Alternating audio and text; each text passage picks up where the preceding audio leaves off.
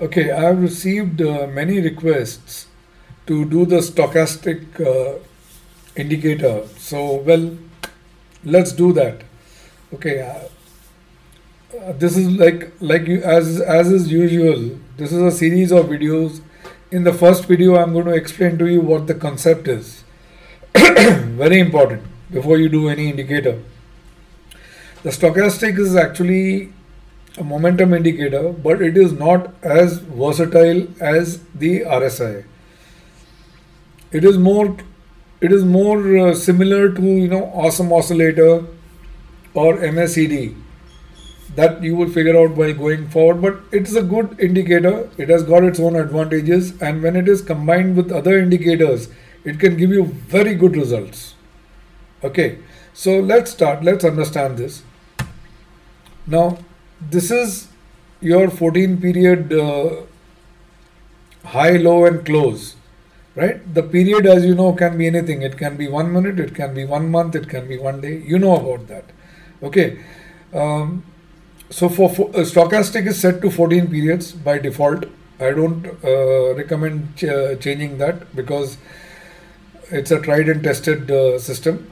So here you can see you know in the first period the price is closed at 1090 and the in the 14th period the price is closed at 1090 1030 1090 60 rupees it has appreciated. In between it has seen highs it has seen lows stuff like that. This is just data right?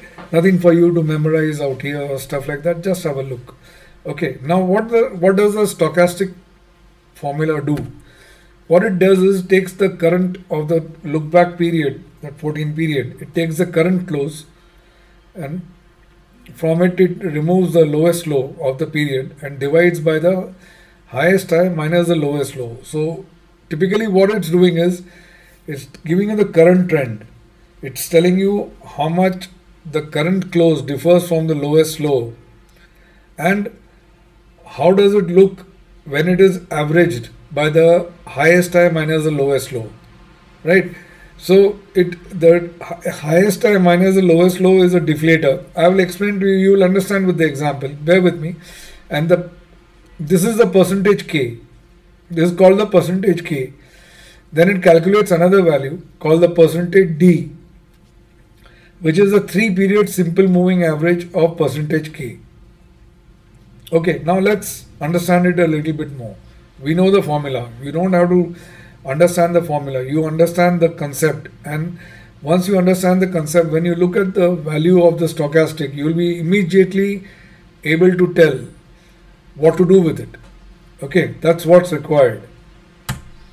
So the current close as you can see is 1090, right? The in this example, the lowest low is 1015. Okay.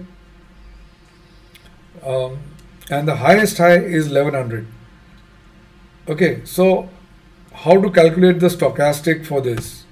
Okay so close 1090 minus lowest low 1015 divided by highest high 1100 minus 1015 into 100 right?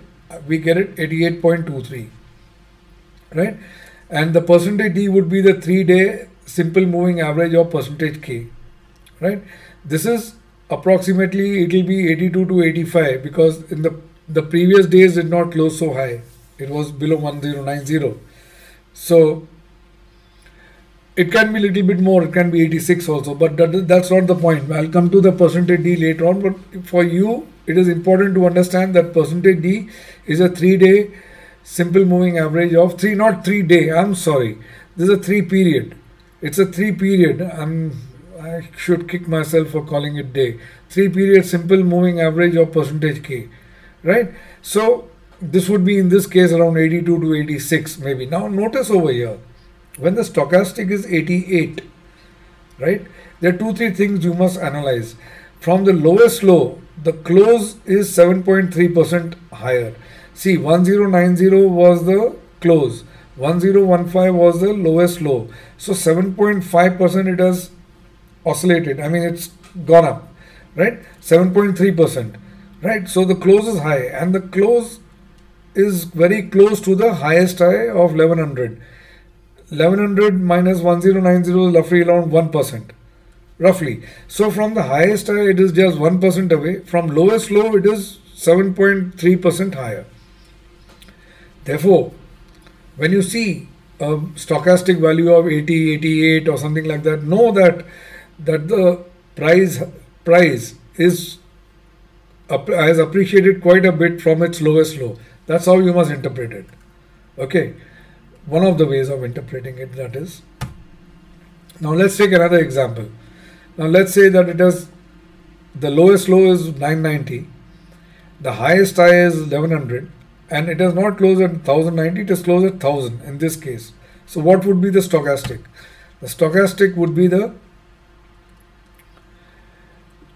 close minus 990 divided by highest high minus 990 990 is the lowest low. I'm getting 9.09 the three day simple move uh, three period simple moving average of percentage k would be roughly approximately 12 to 20 because the earlier closes were higher.